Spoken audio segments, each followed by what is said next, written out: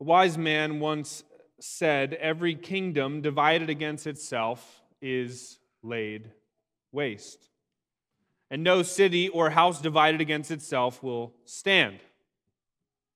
This was, of course, the only man greater wisdom, who had greater wisdom than Solomon, the Lord Jesus Christ. In moments after he says this, in Matthew chapter 12, beginning in verse 30, he says, Whoever is not with me is against me, and whoever does not gather with me scatters. Therefore, I tell you, every sin and blasphemy will be forgiven people, but the blasphemy against the Spirit will not be forgiven. And whoever speaks a word against the Son of Man will be forgiven, but whoever speaks against the Holy Spirit will not be forgiven, either in this age or in the age to come. Either make the tree good and its fruit good, or make the tree bad and its fruit bad, for the tree is known by its fruit. You brood of vipers, how can you speak good when you are evil? For out of the abundance of the heart, the mouth speaks. The good person out of his good treasure brings forth good, and the evil person out of his evil treasure brings forth evil. I tell you, on the judgment day, people will give account for every careless word they speak. For by your words you will be justified, and by your words you will be condemned. End quote. Every tree will be known by its fruits, the Lord says. Every kingdom, ideology, Every liturgy of life and worship, every man will be known by their fruits. Time avails us for a thorough study and blasphemy of the Holy Spirit this morning. But given the passage as a whole, we can conclude a couple things quickly. Blasphemy of the Spirit involved rejecting the Spirit's work promised in the new covenant. God promised the Spirit would come, do certain things, namely replace our hearts of stone into beating hearts that walk in his statutes, and to reject that would be blasphemy of the Spirit. God not merely wrote on tablets of stone, but on tablets of hearts in the new covenant. And he would cause them to walk under that law, under the bright light of that lamp. Further, blaspheming the Holy Spirit included attributing the works of the Holy Spirit to the devil and the devil's works to the Spirit.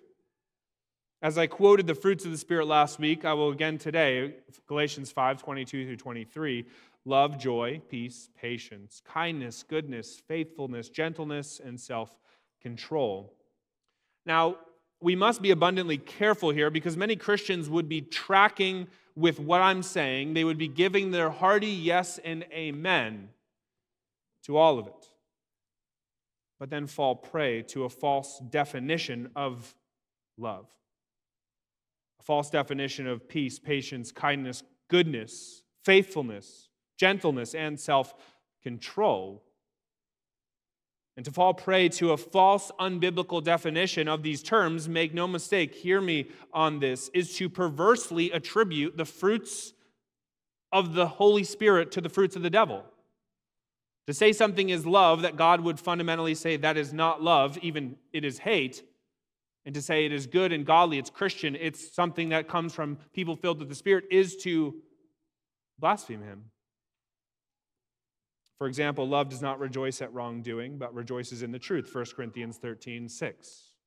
Therefore, as a modern example ever before us, it is unloving, even hateful, to attend a homosexual wedding, which is necessarily a celebration to rejoice in something perverse or to affirm transgenderism.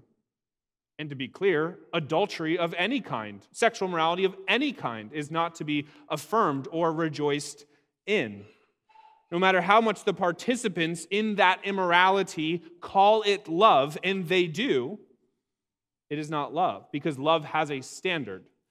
God is that standard, for he is love. Love is only found in truth, and God is the standard of truth. Jesus says, I am the truth. Paul concludes the list of the fruits of the Spirit by saying, Against such things there is no law. You can feast on those fruits of the Spirit all you want. You can eat them all the days of your life, all the hours of your life. Gluttony on such fruits is impossible. Elevensies, midnight snacks, If it be from that tree of the Spirit, don't ever second guess eating it. Do, though, be very careful to make sure you are eating of the right tree, that your definition of love, goodness, and faithfulness are in line with God's definition as found abundantly throughout the scriptures. One very easy way to test if your definition of love is in line with God's is to soberly assess if you actually hate what He hates. It can be easy at times to hide behind the word love. But after one of the most glorious articulations of the gospel in Romans chapters 1 through 11, Paul tells them in chapter 12 to therefore abhor or intensely, even violently hate that which is evil. Do you hate that which is evil? And is your definition of that which is evil in line with what God would call evil? One cannot love without also hating. They are two sides of the same coin. If you love children, you will hate abortion. If you love the true gospel, you will hate false gospels as they lead people astray and cannot save and deglorify the Son of God. I will again this morning read the list of evil acts that the flesh often desires, Galatians 5:19, sexual morality, impurity, sensuality, idolatry, sorcery, enmity, strife, jealousy, fits of anger, rivalries, dissensions, divisions, envy, drunkenness, orgies, and things like these. End quote. So these are the desires and fruits of the flesh that we are to hate, while we are also to love the desires and fruits that is the tree of the Spirit. This again requires the right definitions of terms, sexual morality, impurity, sensuality, idolatry. What are those things according to God? And we must then, after doing our diligence to learn the definitions of these terms, submit humbly, joyously to God's definition on these terms, trusting that He alone is the truth and the arbiter of truth, and He alone, as Jesus said, is good. He is good. Why am I starting here this morning? The very next line in Galatians 5 says, I warn you, as I warned you before, that those who do such things, speaking to the bad fruits of the flesh, will not inherit the kingdom of God. We are in the book of First Kings, tracing the line of kings in the history of God's people in the Old Covenant. They were, in a very real and earthly sense, in the old economy, the old covenant, the kingdom of God. But they failed to prove themselves sons of God. They failed to walk and talk as their father walked and talked, to love what he loved and to hate what he hated. King David gave Solomon the kingdom of God on a gold platter. And we learned last week that Solomon, despite decades of good work, ultimately failed to inherit the kingdom of God, at least as he was really designed to do. I mentioned that last week. I do believe Solomon inherited the eternal kingdom purely by the grace of God, according to the covenant God made with his father. But my point is that he played the prodigal son at the end of his life. He played the prodigal son with his inheritance in the end. And Rehoboam, Solomon's son, would do the same.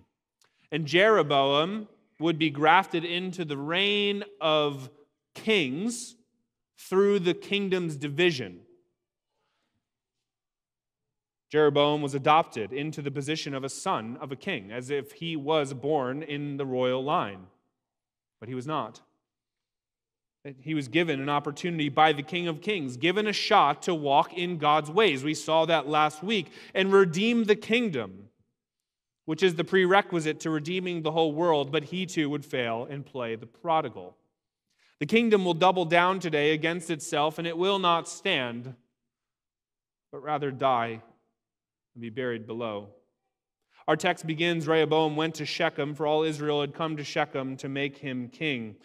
Shechem has a colored history in the Bible thus far. Originally a Canaanite city when it's first mentioned in Genesis chapter 12, yet it's the very place that Abram receives God's promise of the land.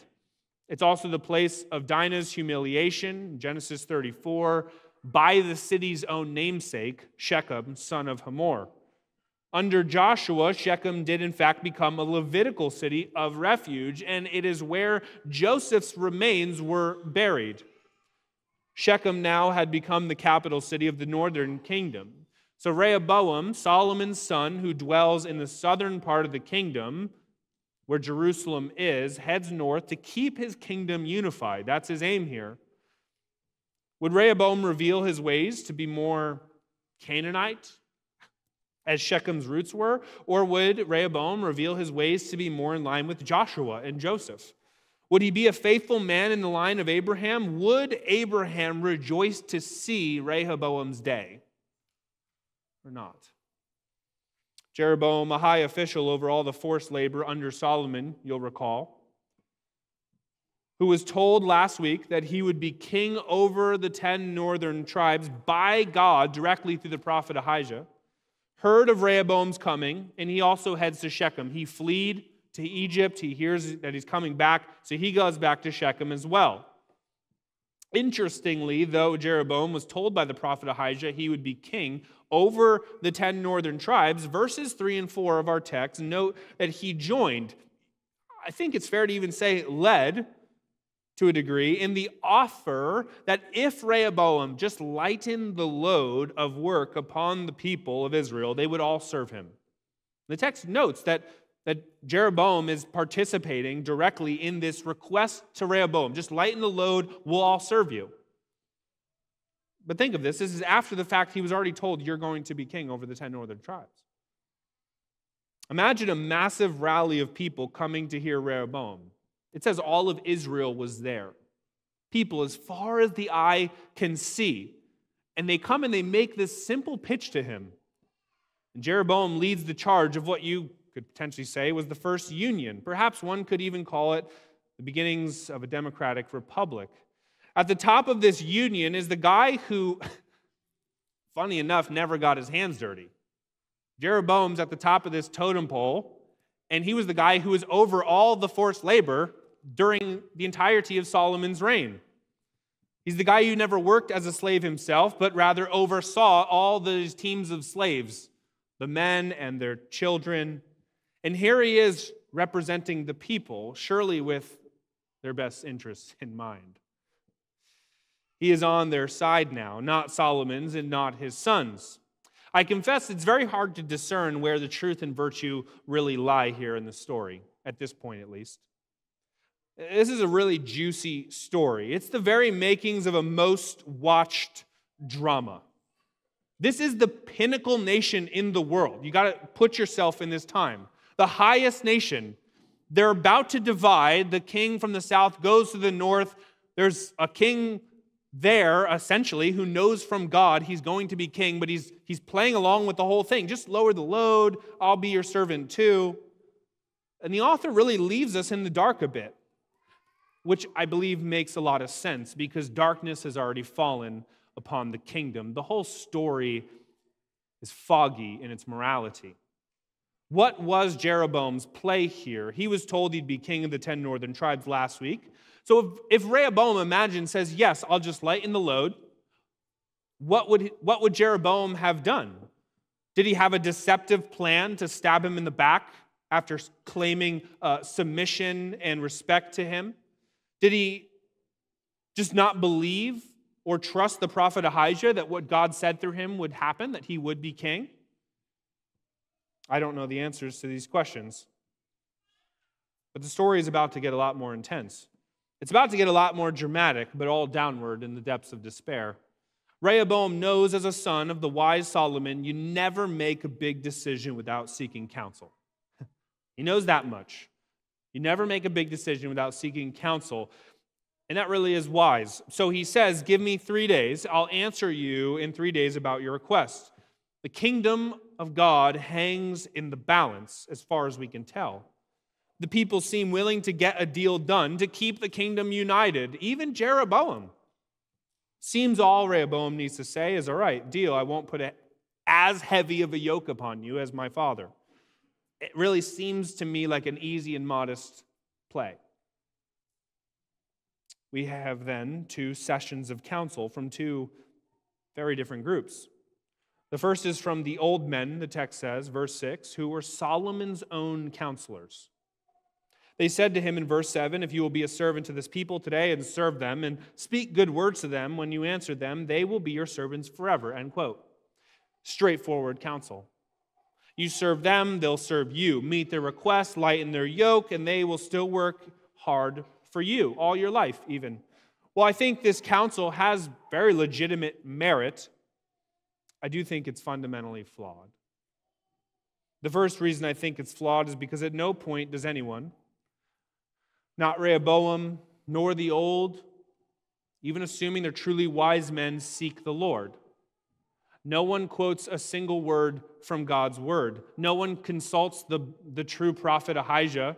There will be others, but at least we know of one. Put simply, I would say they just weren't Christian about it. They had the appearance of godliness, and they might have even been truly godly men. And I firmly believe offered much better counsel than the second group, who we'll see in a second. But even this counsel failed because it fundamentally was rooted in their own wisdom instead of God's.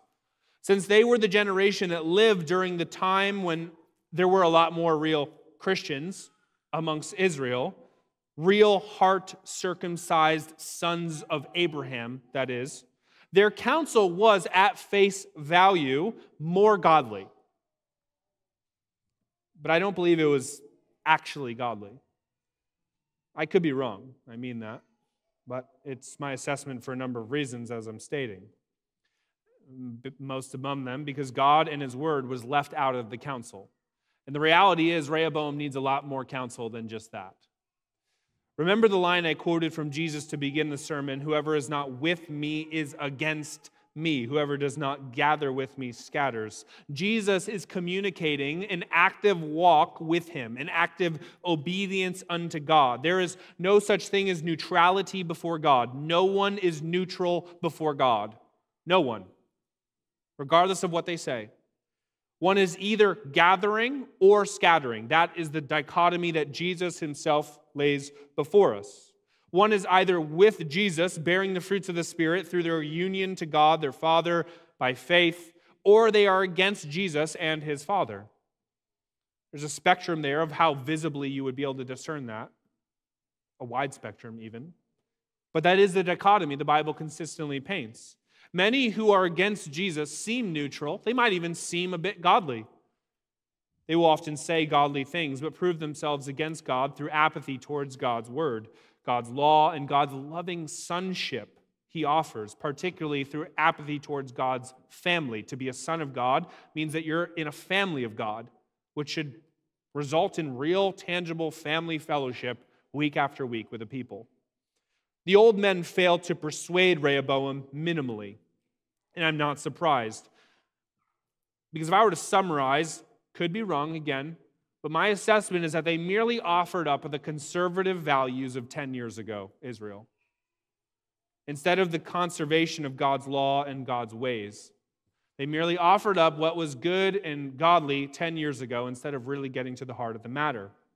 Be weary, church, of the term conservative and those who would label themselves as such. If they say that, ask them, What are you conserving? What are you conserving? Most in America, most in so called conservative churches, even, are conserving nothing more than the status quo of a decade ago. And that is largely a quote from uh, Mr. Eric Anderson, as many of us know. The question is is what they're conserving actually godly? At the root, is it godly? Is it good? As the Bible says, Romans 13, the magistrate is uh, not a terror to good, but to evil. So we have to ask what is good? What is evil? We have to define these terms according to God's word, the very arbiter of goodness and evil. That is the question you must ask yourselves at all times, but especially days before an election in a democratic republic. With all the votes that you have, ask yourself is it fundamentally good? Dig below the rhetoric you will scarcely find anyone with superficially honest rhetoric. Verse 8 says, He abandoned the counsel and took the counsel of the young men who had grown up with him. Okay? The Hebrew for young men typically communicates a very young boy, an adolescent, a kid, both referring in the Bible to a young child and a goat. A virgin boy who has not married, still lives with his parents and has much maturing to do. Yet the commentators helpfully point out that Rehoboam is in his early 40s at this point. So the author is actually slighting them. He's undercutting these men. They're grown men, but he calls them young. He's calling them boys, though they are in their 40s, late 30s at the least. They should have been married for decades, and they might have even been. They should have had many children, much life experience. They should have been considered wise men and counselors of the city, always, always with more maturity to be gained, more wisdom to be gained. But these are not 10 year olds. They're not even 20 year olds, which in time, in this time, would have been much more mature than our average 20 year olds for the record anyway. Why does the author slight them? Because they prove themselves foolish, aggressive, and even scandalous little boys. In men's bodies, of course. They respond, Thus shall you say to them, My little finger is thicker than my father's thighs. And now, whereas my father laid on you a heavy yoke, I will add to your yoke. My father disciplined you with whips, but I will discipline you with scorpions. End quote. Scorpions were sharp metal pieces attached to whips. Again, this is a dramatic story, one proving to be without any good king, but a plethora of drama queens. The Hebrew word thigh here most often means upper thigh, loins, even. It's a scandalous way to say a strong statement, sensual even statement, with a faint remnant of wisdom, keeping them from saying it full bore. The counsel they give is not only scandalous rhetoric, but it's unnecessarily aggressive and highly divisive. Imagine here this scene. Imagine this. All of Israel's waiting for the word from the king. The kingdom hangs in the balance. If you have ever felt any weight, like any election is going to change things, multiply that times a thousand. This is how they feel. And in a room is a bunch of old wise counselors and younger counselors, middle aged men, and Rehoboam sitting at the head of this table, getting counsel from both. The old say, let's just go back to the good old days, throw the dog a bone. The young say, I will destroy you just for even asking to lighten your load. Bow down. No one prays in the text. The first generation abandoned their love of God but maintained an appreciation for much of his ways. The second generation, following the trajectory of their fathers, abandoned not only a love of God, but also an appreciation for his ways. I believe that's what we're seeing here. As it is written, Romans 3 none is righteous, no, not one. No one understands, no one seeks for God. All have turned aside, together they have become worthless. No one does good, no, not even one. Their throat is an open grave. They use their tongues to deceive. The venom of asps is under their lips. Their mouth is full of curses and bitterness. Their feet are swift to, sh- to shed blood. and their paths are ruin and misery. The way of peace they have not known. There is no fear of God before their eyes. Romans 3 10 through 18. Rehoboam received, I believe, one permissible choice with, with decent wisdom in it that likely would have bore some good fruit while I think still ultimately declining the nation due to its fundamental godlessness. And he received an altogether sinful choice, rooted in nothing but a lust for power and comfort. Rather than consult God and his word, or maybe a third party here, rather than consult Ahijah the prophet, or actually just play the role of a king as he should have already had these things a bit dialed in, he chooses objectively the worst and most sinful choice, breaking down the only dam keeping the kingdom together. Church, you must understand that everything that we call political is at some measure, often a very high measure, ethical, moral. Politics is often a synonym for ethics, as Brother Eric Anderson's uh, rhetoric has helped many see, myself included. Do not be fooled by the rhetoric that, for example, for example, abortion should not be a political discussion or that laws should not be passed about it because what do politics have to do with a quote unquote woman's body. Okay? The problem is abortion is the murder of a child.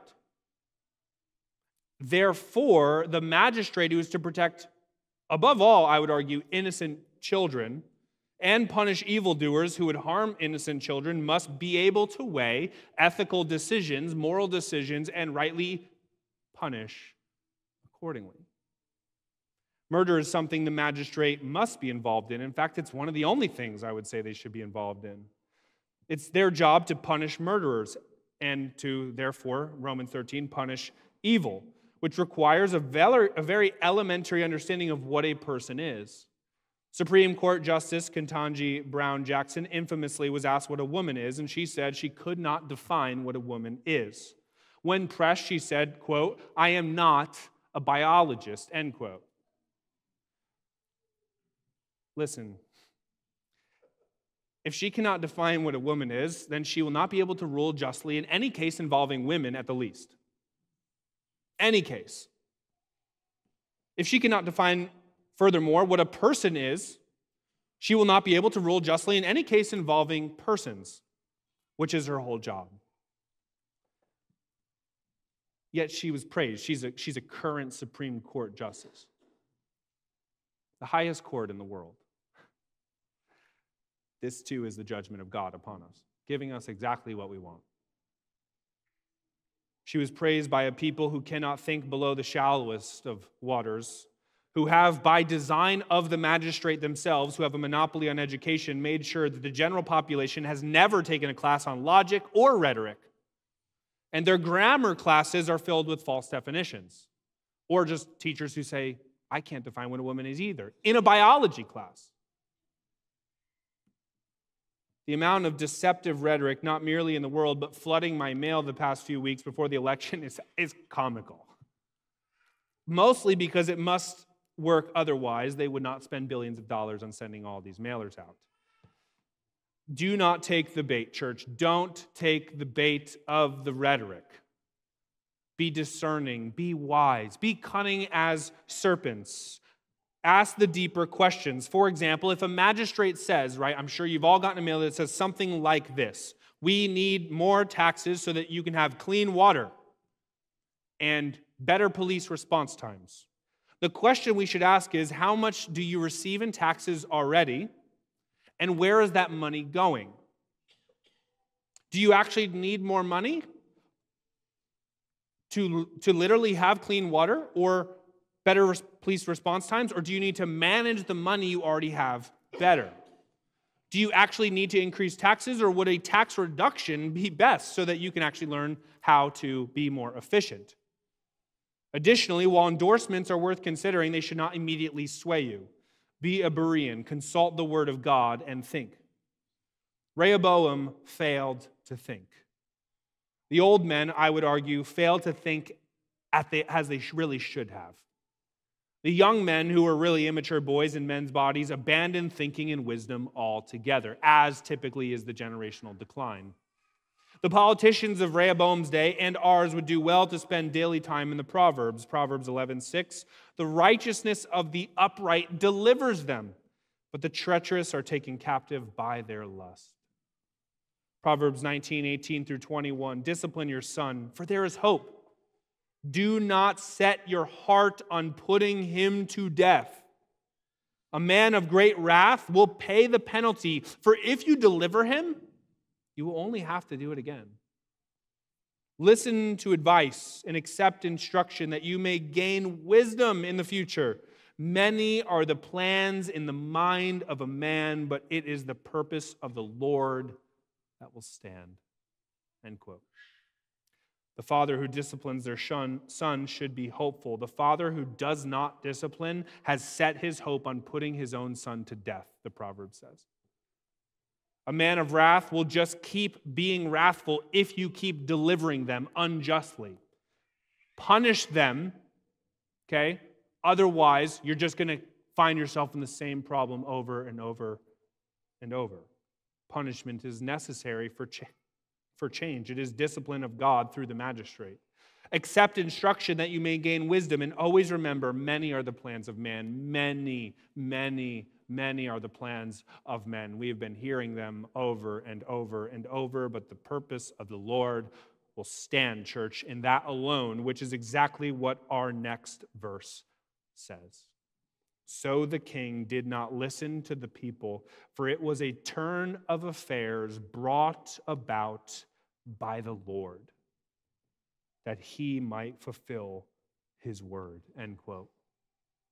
What Rehoboam did was sinful, and it was exactly according to the plan of God. Proverbs 21 1 The king's heart is a stream of water in the hand of the Lord. He turns it wherever he wills.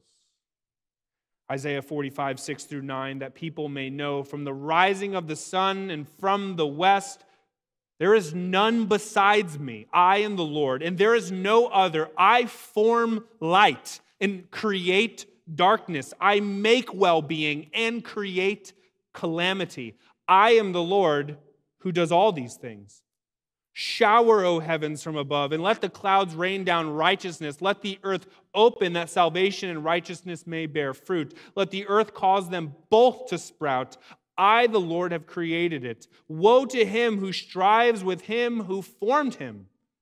A pot among earthen pots. Does the clay say to him who forms it, What are you making? Or your work has no handles? End quote. Isaiah 46, 9 through 11.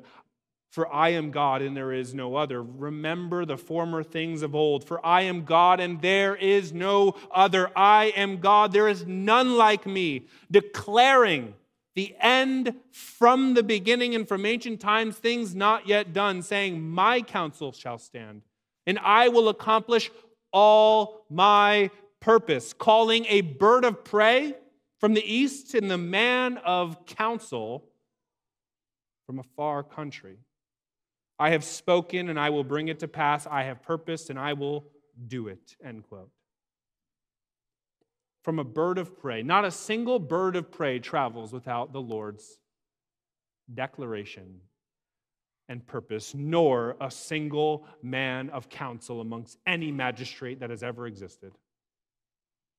All things happen according to the declaration of God. He declared the end from the beginning, and he did not merely know what would happen, rather, he declared it. He determined it. His counsel, his word, his plan would stand. He said, I will accomplish my purpose. I have spoken. I will bring it to pass.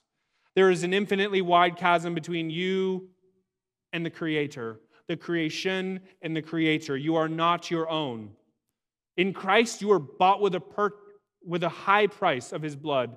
But even outside Christ, no one is their own. They are merely created beings sustained every moment by their God. You are not sovereign.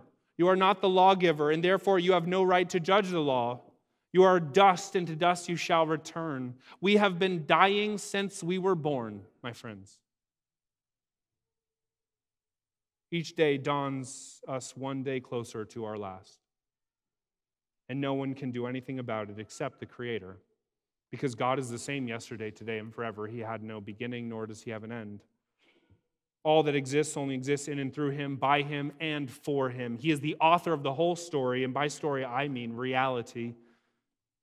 Hebrew says his word upholds the universe. The Bible plainly and repeatedly reveals that God is so sovereign. He is so sovereign. You will ask questions like we find in Romans 9, verse 14. Is there injustice on God then? Verse 19. Why does he still find fault? For who can resist his will? If you're tracking with Paul's arguments in Romans 9, you will ask these questions. And when the questions are asked, Paul doesn't respond with, Oh my gosh, you were totally misunderstanding me. Man is very free. He is so free. I completely botched my teaching lesson on God's sovereignty and man's responsibility, or commonly called this emphasis on free will.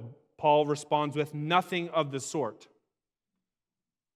He does not say, Let us emphasize man's free will together. Please forgive my mistake. No, the Apostle Paul says, rather, he asks, You're tracking with my argument. Okay? And then he answers those questions with verses 18, 20, and 21 in Romans 9. So then he has mercy on whomever he wills, and he hardens whomever he wills.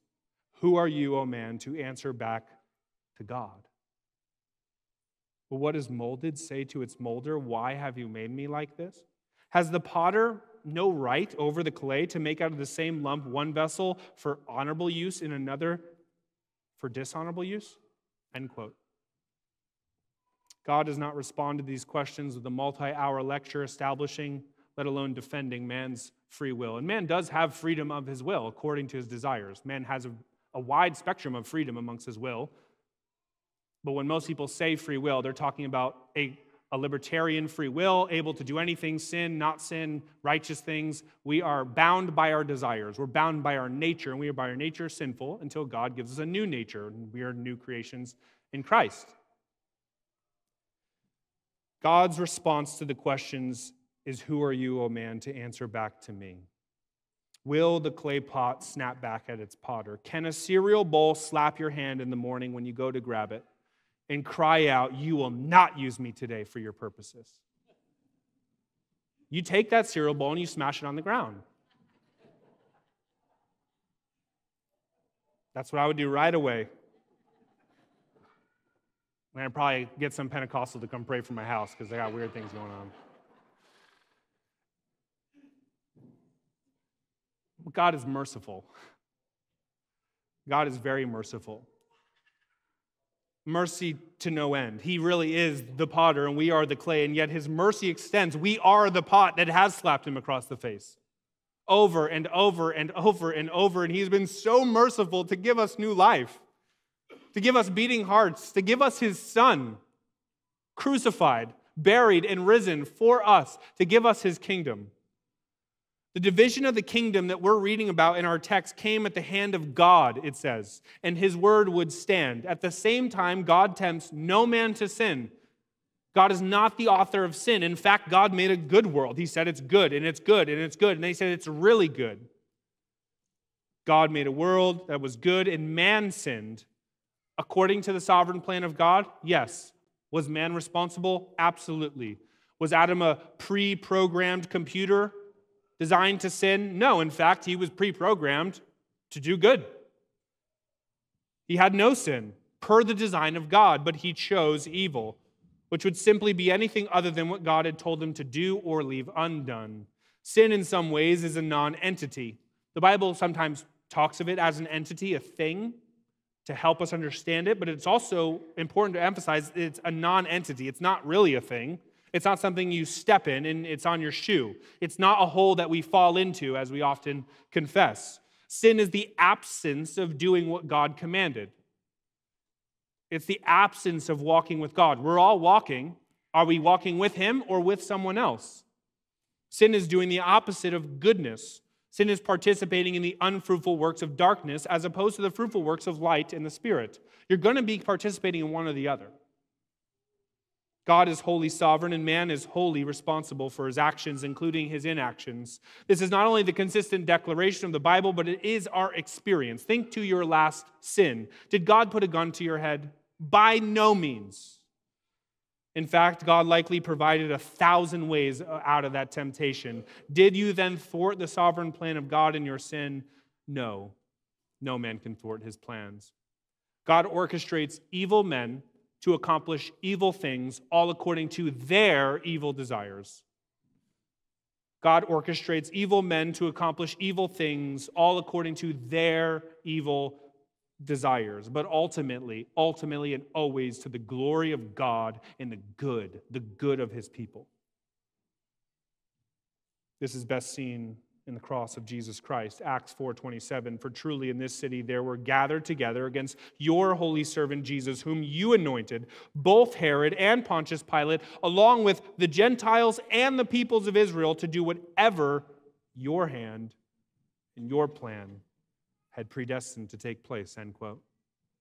They all gathered against Jesus, the whole world, to do whatever God's hand and God's plan had predetermined to take place, which was to crucify Jesus Christ, the Son of God, the Messiah. Did this mean the world was innocent? By no means. Read the Gospels and read the book of Acts. They were choosing to be wicked because they loved wickedness. They acted wickedly to feed their lusts. And what they meant, what they meant for evil, as Genesis concludes on the story of Joseph, what they meant for evil, God meant for good. In fact, the good of the whole world. Jesus was the good king that they had all been waiting for, for he was God walking with them like Adam had in the garden. But they squandered it, just like Rehoboam and Jeroboam. Rather than consult the scriptures and recognize the God of the scriptures right in front of them, they consulted wicked counselors, varying degrees, and concluded in unison Israel all came together, a divided kingdom, unified with one cry in the gospel accounts crucify him. Perhaps the most unified Israel had ever become. They said our fathers were brutal to the prophets and godly, placing a heavy yoke on them, killing them, even as Jesus emphasized. But on you, Jesus, we will place the heaviest of yokes. We will bring forth whips with scorpions. We will tear you to pieces. We will nail you to a tree naked for everyone to see. We will crown you with thorns. All the curses of God be upon you, and inscribe in mockery above your head, King These were the fruits of Solomon. These are the fruits of Rehoboam and Jeroboam, the fruits of Father Adam. These were our fruits, church, for our sin nailed him there. Had you been among the crowd or among the council of Rehoboam, do not fancy yourself. Apart from the grace of God giving you eyes to see in mercy, you would have given the same godless counsel and watched the kingdom crumble, crumble like a cave during an earthquake, burying everyone inside without hope. The people responded faithlessly to Rehoboam's decision, asking, What portion do we have here in David? We have no inheritance in the son of Jesse. To your tents, O Israel. Look now to your own house, David. Is this all it took to forsake the promises of God? One generation later, and they all conclude against God's glorious covenantal promises to establish his Messiah over the world on the throne of David, that they will have no part in him? This is theirs. To theirs are the covenants. To theirs are the blessing. To theirs is the kingdom. And right away, one bad word and they say, We're done. This is like a child having the most enjoyable day ahead of them with all their favorite things, people, food, and activities. But when mom asks them to merely brush their teeth before they all head out, the child throws a fit and ends up saying, You know what? I don't want any part in this day. I'll go stare at a corner of my wall in misery. Oh, the folly and the pride. Was there anyone in the kingdom with wisdom? What we find out is no. The foreign worship of Solomon brought, destroyed them all. It had enculturated all of them into demonic desires.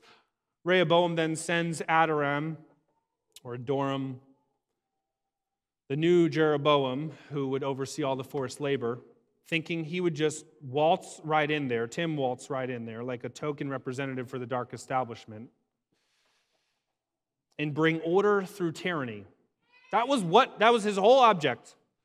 Hey, I'm to get out of here. You go up there and you just start the forced labor. I know they're not for it, but like, you got this.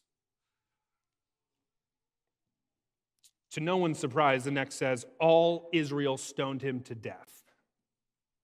Rehoboam, knowing he was next, then really fled to Jerusalem, where he gathered 180,000 men to fight against the north. But God spoke through Shemaiah, the man of God, to not fight against his own relatives. They're all family.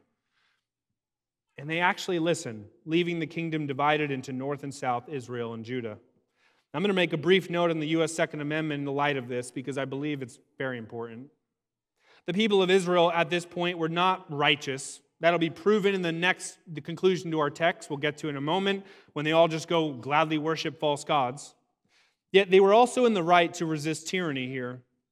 Magistrates are but men like you and I, and everything the magistrate does, they do by the sword. Romans 13, this is actually their right. And to be use modern language and to be blunt for the sake of time, everything the magistrate does, they do with a gun to your head at the end of the day.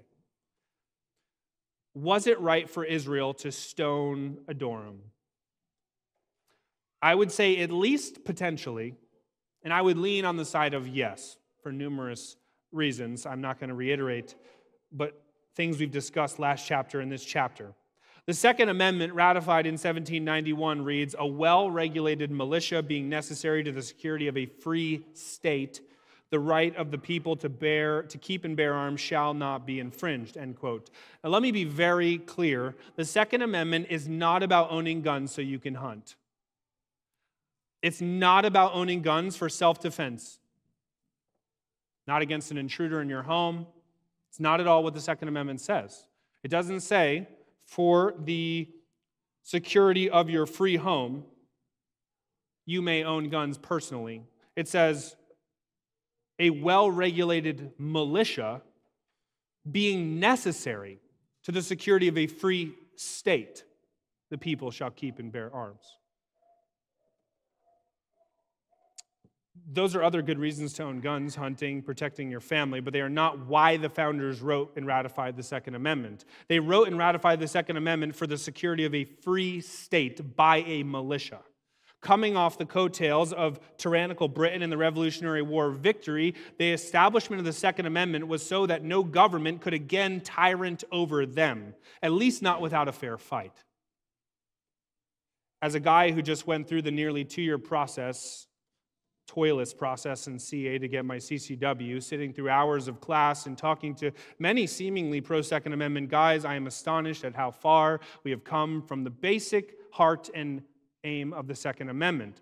There was not, not exaggerating, not a single mention, not a word from anyone at any point in the two year process, hours of classes, filling out paperwork, anything from anyone. The 40 or so guys I took the class with, not one time, a 12 hour class, supposed to be eight hours, 12, I am still a little bitter about it. Not one time did they say the Second Amendment is to protect against the magistrate's tyranny. These are the dudes, these are the Second Amendment guys. They got all their stickers, they got all their stuff, they got tattoos. And they're over here submitting to a 12 hour class for an eight hour thing. By hour four, I was like, hey, did I plan to pay you to get out of here? I shouldn't even have to take this class. I should be able to own a gun and put it on my hip and walk around. And if I do something criminal with it, then yeah, I should be punished. And if I don't, I should have the freedom to do this. Constitutional. The Constitution is my government. I'm submitting to my government. The people, after decades of faithful work under Solomon and after a modest plea to have less strenuous slave labor, they see a king twice as cruel, sinfully domineering over them. But one would be shocked at how quickly the seeming strong man with the crown proves himself a coward when the people reject his tyranny with even just a bit of force. Such matters, church, take great wisdom. If you read the reasons why in the Declaration of Independence they chose to fight, it's a, a great slowness to anger. It's a lot of patience and enduring hardship to the point where they decide we're going to use force. We must be very wise. But as the proverb said, a man of great wrath will pay the penalty. For if you deliver him, you will only have to do it again. And that goes both ways. Our text concludes Now the kingdom will turn back to the house of David. This is Jeroboam talking, contemplating, recognizing something. He says, The kingdom will turn back to the house of David if this people go up to offer sacrifices in the temple of the Lord at Jerusalem, then the heart of this people will turn again to their Lord, to Rehoboam, king of Judah, and they will kill me and return to Rehoboam, king of Judah. So the king took counsel and made two calves of gold. And he said to the people, You have gone up to Jerusalem long enough. Behold your gods, O Israel, who brought you up out of the land of Egypt. End quote. Verse 31 says he made temples in the high places and he appointed priests from among them. The only qualifier, you can't be a Levite. He appointed feasts just like Judah and made sacrifices. Jeroboam went and found some counsel, the text says. Is it the same people? I, I have no idea, but it's absolutely atrocious counsel. Just like Rehoboam did, and it proved to be fatal counsel. Church, bad counsel kills it kills. Bad counsel kills, and it damns. I'll be clear as a shepherd trying to protect the sheep do not listen to bad therapists. Okay, therapists are that's a synonym for counselors. People pay them hundreds of dollars an hour to go receive damnable, destructive counsel. It's astonishing. Don't don't go receive bad counsel. I'll give you counsel all you want for free. That's my job. I, mean, I just get paid a wage. I'll give I'll meet with you as long as you have to to go through anything to give it to you for free. And the only reason my counsel has any weight and worthiness to it is because I'm going to consult God's word and his counsel. And where I stray from that, it'll be bad counsel. Don't listen to me. And where it is in line with it, it's really, really good counsel, regardless of whether it's coming from a donkey or someone else. Don't go to the bad counselors. And they're all over the place. You don't just need to go pay to sit in a room with them, they're, they're everywhere. If they're not Christian, they are at best like the old men in our text, and at worst, they are like the young men. Okay? Make sure they're Christian, and if not, just be aware of what you're stepping into. Even if they don't give counsel in your time with them, the absence of correction and counsel is itself a problem. Many say, Well, I go to my therapist, I don't, they don't really tell me what to do. That's also a problem. They should probably tell you what to do. If you're going there with a list of decisions that got you into a really bad spot, they, they should probably tell you, hey, don't do that. Don't do that. Good counsel saves, namely the counsel of the gospel. Take the gospel, receive the gospel, receive Christ. Bad counsel kills. We see that in our text. Living with wise counsel around you is also just a way of life. Do not merely seek reactionary counsel when all the bad decisions have bore their fruit. Okay, that's a good decision if you find yourself where I've already made the bad decisions, now I need reactionary counsel, then go find it. But don't live that way. Live a life surrounded by wise counselors all the time. I often emphasize with people reactionary counsel, expect to sit with me for hours. Proactive counsel, it might be five minutes. Hey, don't do that. We're good. I'll save you hours just with me alone, let alone another heartache. Don't merely seek reactionary counsel, seek proactive counsel. Live with wise people, and you will live in the sweet forests of good fruit. Conclusively, Jeroboam knew, church, we see here, that true worship would change the people's hearts back to God in the line of David. So he instituted false worship, modeled after the true worship. It's one of the oldest plays in the book, and we must be very on guard against it. Many sermons could be preached on this final portion of the text, but what you must know is what I emphasized last week. Everyone is a worshiper. We are not first and foremost Homo sapien, literally translating wise men. If 1 Corinthians, uh, 1 Kings 11 and 12 have taught us anything, we're not first and foremost wise men, Homo sapien.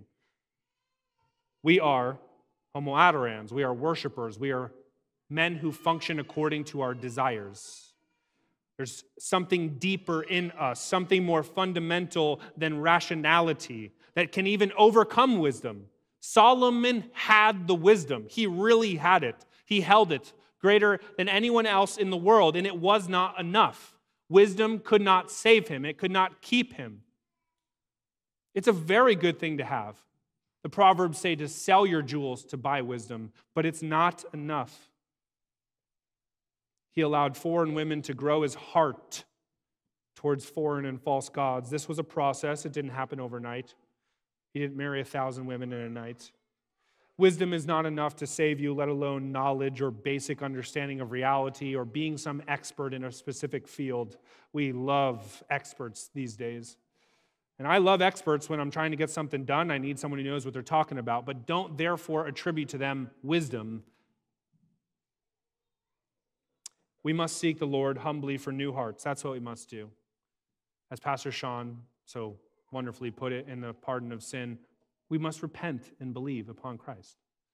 We must repent and believe upon Christ. We must actually love what he loves and hate what he hates. We must, by faith, trust that he loves to give the humble such hearts to meet their every request. Luke chapter 12, always giving more of the Holy Spirit to those who ask. Always, always, always. You ask, He gives Him. What a great promise, church. You want the fruits of the Spirit, ask in humble faith, and He will give. We who are at the most fundamental level, homo adorans, men who adore, we are worshipers. And everyone at all times is operating according to a liturgy, a pattern of life modeled around whom they worship, what they worship. As James K.A. Smith argues, we are homo liturgicus, or liturgical men. Everyone is finding some conformity. Oh, it's football season, and then it'll be baseball season, and then I'll keep this rotation going until I die. We find whatever the liturgy of life is that we want, that we desire, and we worship. And this is exactly what we are observing in 1 Kings, particularly in Jeroboam's strategy. He is confident that the Israelites will grow again to worship the true God if they go down to Jerusalem and participate in that liturgy. These are sinful people. And he's like, if they go down there and they participate in the liturgy, they're going to end up worshiping the true God. Don't want that, because then they'll go submit to that king. And so I'll provide for them other, another liturgy he sets up false worship, a liturgy actually modeled after the true liturgy but filled with falsehood, and it works like a charm. God, he institu- uh, God instituted feasts for us to participate in with gratitude, ultimately, the broken bread of Jesus and the cup of Christ's blood. But Jeroboam says, I'll institute a feast unto idols.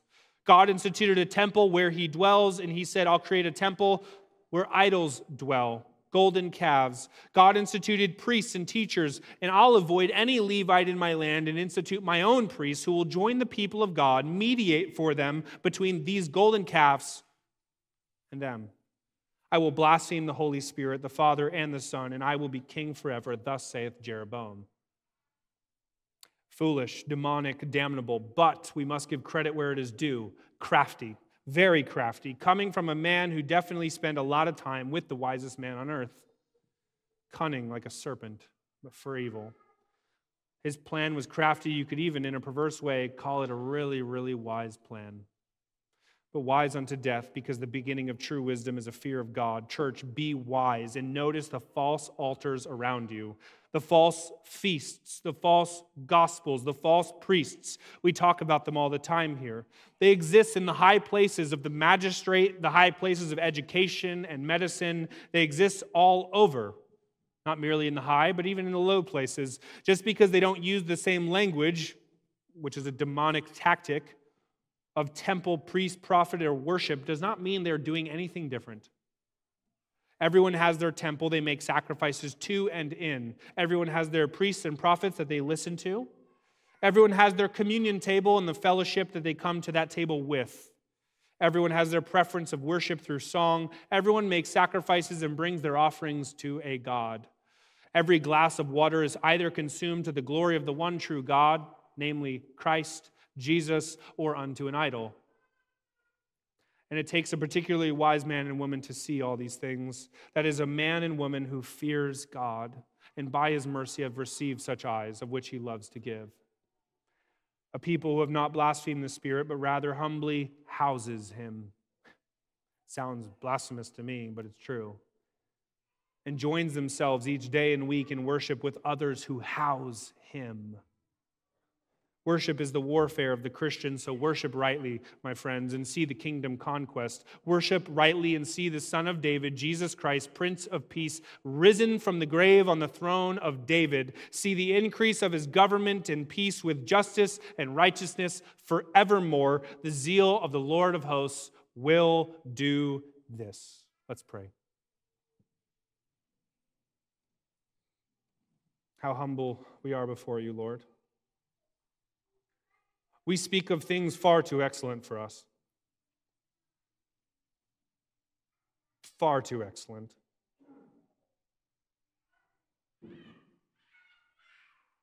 Help us to believe them. And by that, by that belief, help us to live in the light of them to the glory of King Jesus. We ask these things in his name. Amen.